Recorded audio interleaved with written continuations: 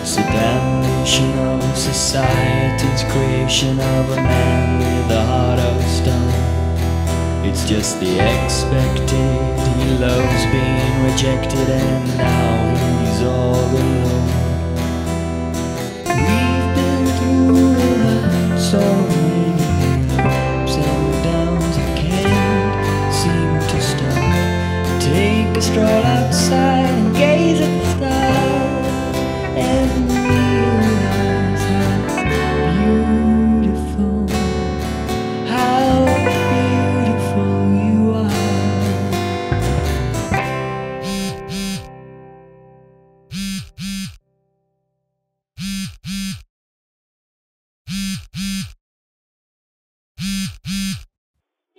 Rosie B. You know what to do. Good morning. This is a message for a Miss Barfield. My name is Dominic Richardson of Howell and Sons Solicitors in Bickenhill. I've received a call from the CPS this morning and need to liaise with you at a more convenient time in relation to a matter of some urgency regarding your case. If you could call me back, please, I would be very grateful, and we can arrange a meeting. Many thanks. Bye bye for now.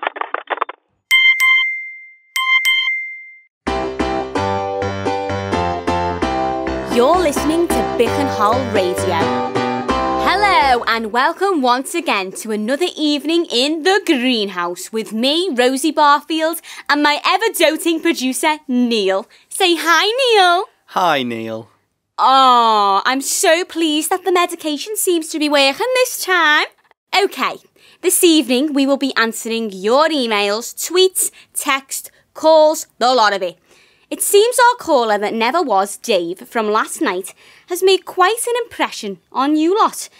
So, Dave, if you're listening, mate, our window's open at 9pm later, and we can, power outage permitting, get you on tonight. Back after this. Next to the breast, radio's the best.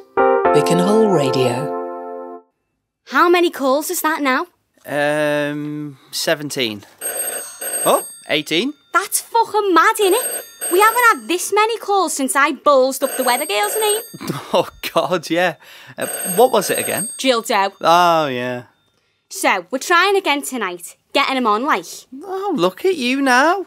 Yesterday, you, you didn't want him on at all. Yeah, well, I feel a lot better today. Ah. Scored last night then, did you? Hey, come on then. Who with? Uh, It wasn't chicken tonight again, was it? No, and no one says scored anymore, you square. It was Josh. Josh? Oh, yeah, long story. This morning, though, right, I got up, went to the bog. I could see a reflection of myself as a pissed, and I thought I look like fucking Anne Widdecombe, right? So I thought I gotta sort myself out. And no word of a lie, I went to put my hair up, and the entire chicken nugget fell on the floor. Came in handy actually, as he didn't have anything in. it. But. Josh, the guy that was chatting to you last night, that Josh. Yes, fucking hell. What's with all the questions? Oh, no, nothing, just surprised. That's all.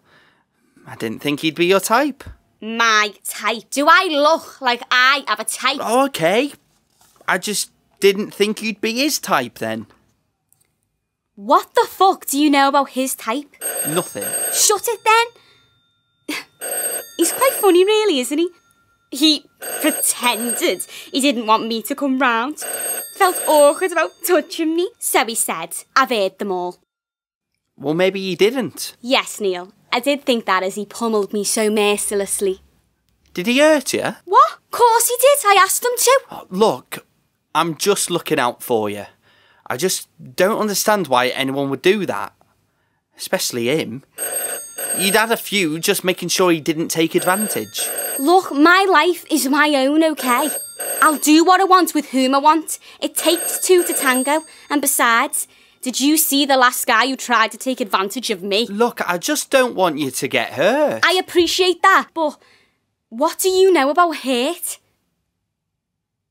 Let's leave it there, shall we? I don't need any more judgment in my life, okay? That's all I've ever had.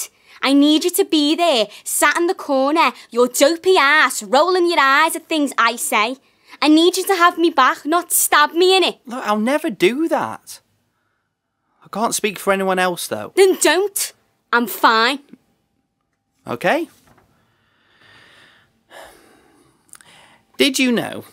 I often wonder whether Channel 5 would be interested in a documentary about your exploits.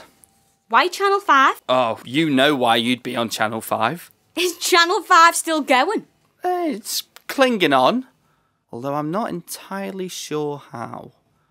Mr. Folding, are you someone whose nightly activities consist of watching, what is it, Fraggle Rock? Have the occasional danger wank before your dear old mother comes in with yet another big old cup of tea and mint viscounts? Are you the big corduroy Casanova still trying to cast judgment on my life? I hope for your sake your life insurance is up to date. Um, nope. Just my inoculations. Fuck you. Nah, come on. You're my best mate, aren't you? Besides, I know too much about you. I know where they're buried. You don't know everything. I know as much as I can stomach. Anyway, if you do need to talk about anything, I'm here, okay? You're on in five seconds. That's still enough time to kick your ass. Welcome back. Now, as many of you will know, local elections are nearly upon us, and therefore it'll soon be time to get out there and cast all important votes that could shape the future of this wonderful community we have in Bickenhill. To help make up your minds, we have Bucky's favourite Conservative candidate, Roland Blythe Esquire III, in the studio, who will be talking about his latest bid to close all of Bickenhill's food banks. Should he be elected?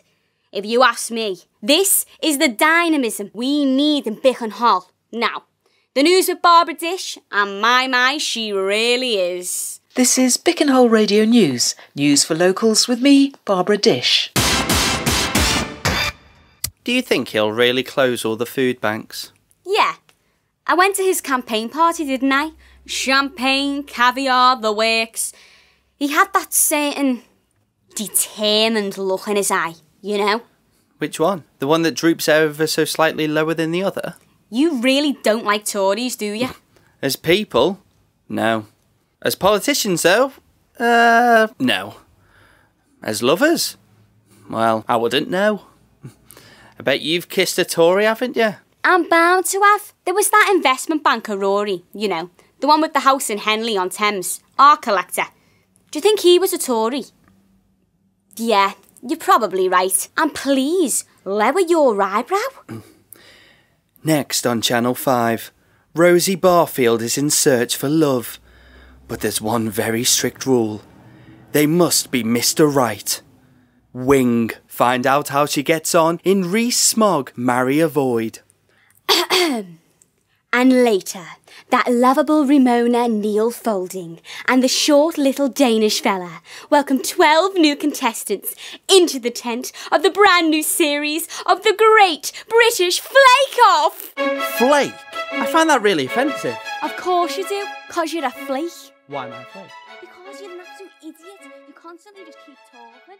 You should listen to yourself. Ah, what a classic. Thank you all for joining us in what is yet another gorgeous evening in the greenhouse. As avid listeners of the show would know, this week we've welcomed Dave into the garden and we wanted to get him on tonight, but we've had this from him instead. It reads Thank you, Rosie, and Neil, of course, for taking the time to try and chat with me last night. It really does help. People have always encouraged me to talk about issues I have been having, and it's not easy. Truth is, I have suffered with crippling anxiety and depression for some time, and my life has taken a detour, so to speak, that I'm not coping with well at all. I feel I have nowhere to turn and no one to talk to about it. I haven't been in this area for very long and lack any form of friendship. I live in a bit of a hovel, as it's all I can afford, with a few other people who I don't seem to be getting on with. And your show is a pleasant distraction from my thoughts. It's okay though. I have a partially full bottle of whiskey with my name on it. Actually, I have two. Mainly because it's the only thing that gets me to where I need to be, as quick as I need to get there. The feeling is soothing. I feel as if I'm not really me. And I can live with that. Just about. Sadly, though, I'll live to regret it tomorrow morning. It's a funny thing, life. You come into this world crying, and I imagine you leave it in just the same way. I'll leave you now with this. Now back to my ladder. Gone. I must lie down where all the ladders start, in the foul rag and bone shot of the heart. Yeats. Kind regards. Dave. Dave, thank you for that message. We're here for you. Our audience will listen to any old tripe. Let's face it. They've listened to us prattle on for, what is it? Four years now. Give yourself a break if you can. We'll get you back on soon, yeah? Chin up, hun. This is for you. Fuck me. Look at me. Look at me now. Do I look depressed? I feel like it's dripping off me. Do you think we should put a disclaimer on at the end of the show, like, if you've been affected by? Uh, it wouldn't hurt. Um, but are there any depressed people in Bickenhole? Apart from Dave, you and me?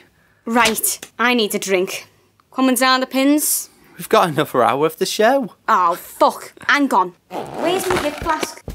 Can you pass me phone, Top?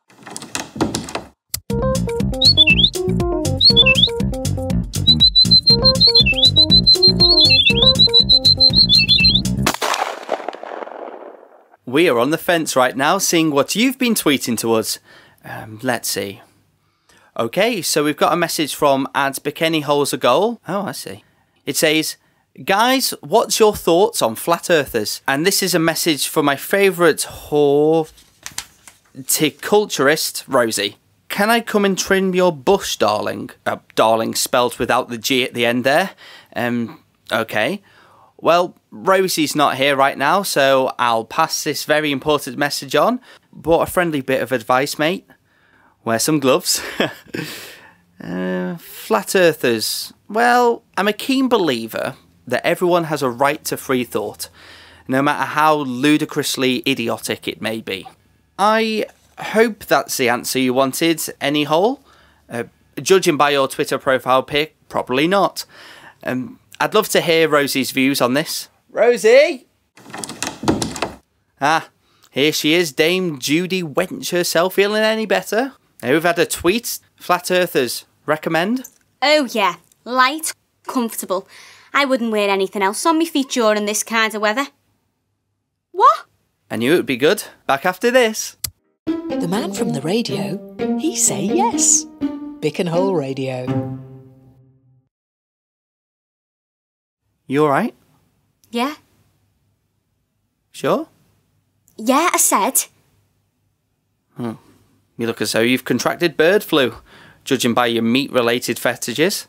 I know that's not too far fetched. The police just called me. Why? They want me to come into the station.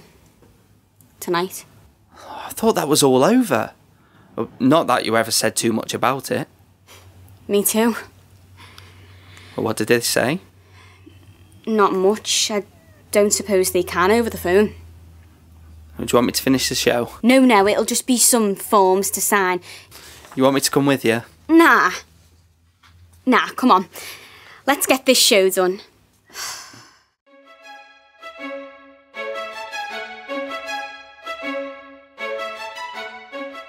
What is it to be this evening then? What manner of absurdity will befall us? Oh, I know what I'll do. Oh, what? Liven things up. Get your mind off things. Oh, shut up. I don't need that. You're making me sound like bloody Dave. Oh, and what's wrong with that? I don't know.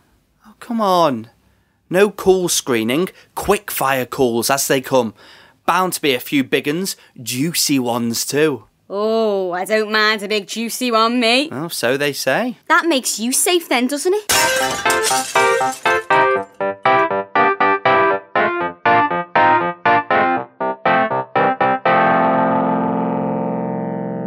Welcome, welcome. It's that time again, where we open up the lines and discuss what really makes you tick, big. Remember, folks, whether you're in a rut, a cheating slut, or secretly taking it up the bus, we don't judge, not in my garden. All right, who's on line one? Hello, Hi, who is this? it's Brian. Hi, Brian, what can we do for you? Yeah, I'd like to report a missing shoe. Who do we have on line five? Good evening, my love. My name is Marjorie. Hello, Marjorie. Thanks for the call. What can we help you with? Well, I'm a 67 year old widower, dear. I was rather hoping I could advertise for a bit of companionship, you know. Someone to play bowls with, have a chippy supper with, or a nice bit of cock. If my show could do that, Marjorie, I wouldn't be here presenting it. Goodbye. You're on the air. Hello, Rosie. Hello, mysterious caller man. What can I do for you? Haven't you heard? I'm out. Oh, well done. Congratulations. That's a very brave thing to do, my friend. Keep it going, Chuck. Cooking on gas tonight, me. Next. Uh, hi. Hello there. You don't sound scary or insane. Please tell me you've got something interesting to chat about. Um, I'm not sure about that. Um, couldn't sleep, so I thought I'd um give you what you wanted. You sound like my kind of man. Where have you been all my life? What's your name, love, and how can we help? Uh, well, I'd like to talk about a few things, if I can. Some a little delicate. My name is um, Dave. If you've been affected by any issues raised in this episode, or if you're finding it hard to cope, please don't suffer in silence. We know how difficult it can be, and sometimes how impossible it seems to open up and talk. But by doing so, you could find the help you need, and it could save your life. Please research local advice hubs, community groups, and NHS initiatives in your area that will listen, advise, and support you through whatever you're going through. Alternatively, reach out to us directly. Contact us through social media and get involved with the hashtag We Are All Dave to share your story. You have been listening to Fenella Fudge, Claudia Grier, Allan Lear, Curtis Ledsham, Nadya Lee, Richard Oliver, James Phillips, Michael Prosper, Hannah Thompson, Ashley Tyler, and David Tyson. Fifty Shades of Dave was written and produced by David Lee and recorded at Material Studios, Liverpool, and has been made possible with the help from the Martin Gallia Project and Involve Northwest. Thank you for listening.